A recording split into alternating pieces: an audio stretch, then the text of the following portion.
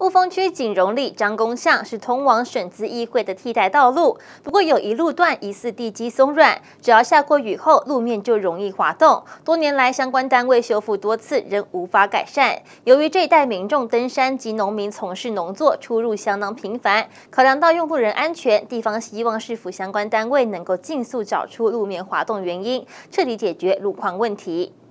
这里是雾峰区张公巷通往省资议会的产业道路，多年来因为路基不稳，容易坍方，造成农民采收不便。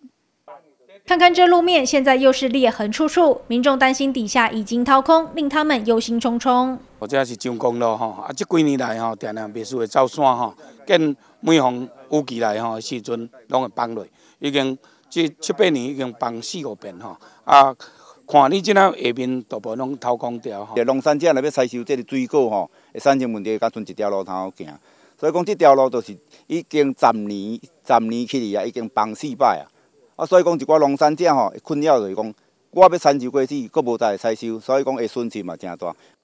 当地里长表示，多年来这路段路基下过雨之后就容易滑动，相关单位来修复多次，仍然无法让这样的情况不再发生。由于这一带是民众登山还有农民从事农作的出入要道，考量到用路人安全，地方希望市府这一次能够找出原因加以根治。张公像这个龙路有没有？似乎是有地滑的现象，所以说路基一直一直不稳，一直在往下滑嘛。那现在我们看到确实也是有这种现象，那我们可能要我们回去我们水利局再请技师来评估一下，到底是这个地滑，我们要一次把它根治好，看是要用微型桩的方式，还是用上下层的挡土墙哦、护式挡土墙哦，来来把它哦呃一起改善。